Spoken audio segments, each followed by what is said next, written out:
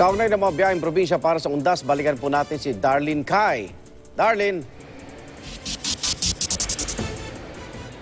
Igan, may ilang mga kababayan na tayong nagpasyang bumiyahe ng maaga para makaiwas sa siksikan. Lalo na yan pagdating sa Webes kung kailan inaasahang dadagsa ang mga pasahero dito sa Aranete City Bus Terminal. Pero dahil mangilan-ngilan pa lang ang mga sumasakay, kakaunti pa lang ang biyahe ng bus pa uwi ng probinsya. Kaya ngayong gabi, inaabot ng hindi bababa sa isa hanggang dalawang oras bago mapuno yung mga bus dito. para ah, maaga pa, mura pa yung pamasahe syempre. Tapos yung banding sa family, mahaba pa yung time kasi wala pang mga trabaho.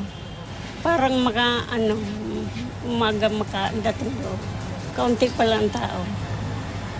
Hindi kagaya ng siksikan.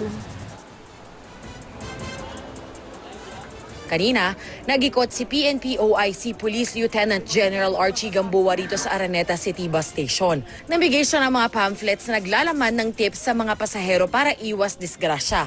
Paalala niya sa mga bibiyahe, Kung iwanan nyo yung bahay, huwag mag-post sa Facebook kung nasaan kayo at baka malaman na walang tao sa bahay nyo. tinutukan naman ng DTI ang mga mabilis sa mga biyahero tulad ng bottled water na nabistong tinataga ang presyo sa ilang pwesto sa Caloocan Bus Terminal. Sa tindahan namin, sa mga presto. Ano po?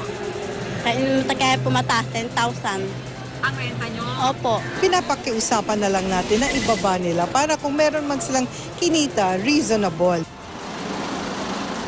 Ni-reactivate naman ng DPWH ang Lakbay Alalay program para umalalay sa mga motorista. Lalo't inaasahang madaragdagan ang volume ng traffic, partikular sa South Luzon Expressway na pinalala pa ng konstruksyon ng Skyway Stage 3 project.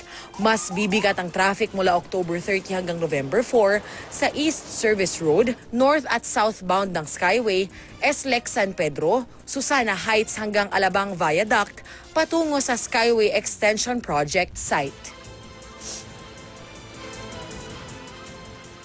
Balik dito sa Araneta City Bus Terminal, mahigpit yung seguridad na ipinatutupad dito kaya naman pinaalalahanan yung mga babiyahe na maging alerto at iwasang magdala ng ipinagbabawal na mga gamit.